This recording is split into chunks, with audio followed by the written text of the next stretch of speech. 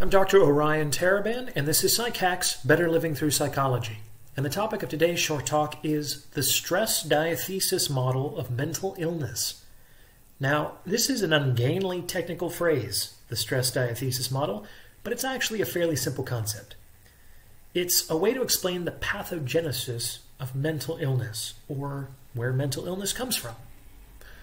The dominant social view of mental illness is that it is caused by an imbalance in brain chemistry, a narrative that obviously supports the goals of the pharmaceutical industry.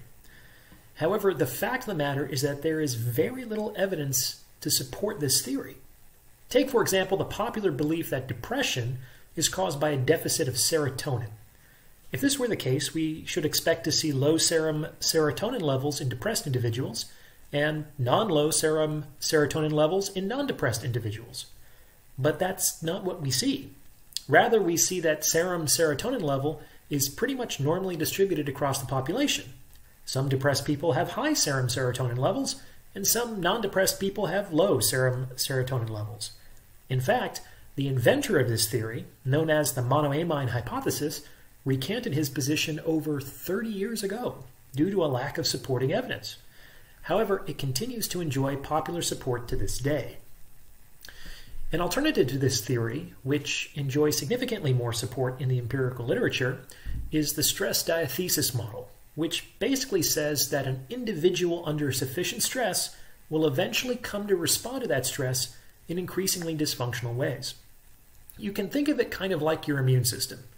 Generally, when your immune system is functioning well, the bacteria and the viruses and the cancer cells that are actually always present within your body are pretty much kept in check. They don't evolve into disease processes because you are healthy and resilient enough to attend to them. However, if your immune system is corroded over time through poor nutrition or lack of exercise or chronic stress, then it won't be able to respond as effectively to these continuous assaults and the disease process begins in earnest. Well, the same thing happens with your mental health. If you're having a difficult time at work and you're going through a breakup and you're not getting enough sleep because you're ruminating on negative thought patterns and you're drinking too much, then all of these things are going to conspire to make it increasingly difficult for you to exercise natural resiliency to overcome the difficulties you happen to be facing in your life. And that's when the disease process, the mental illness, fluoresces, when there's a confluence of factors that make it increasingly harder for dysfunctional responses to be kept in check. The important thing to keep in mind here is that the research suggests that it's the number of stressors a person is facing, not the intensity of the stressors, the number of stressors that really plays the pivotal role in determining whether natural resiliency is compromised to the extent that a mental illness emerges. We can handle one, maybe even two or three significant setbacks concurrently. But when we get to six, seven, eight, it becomes very difficult to keep our heads above water something to keep in mind. Thanks for listening. If you like what you heard, drop a comment below.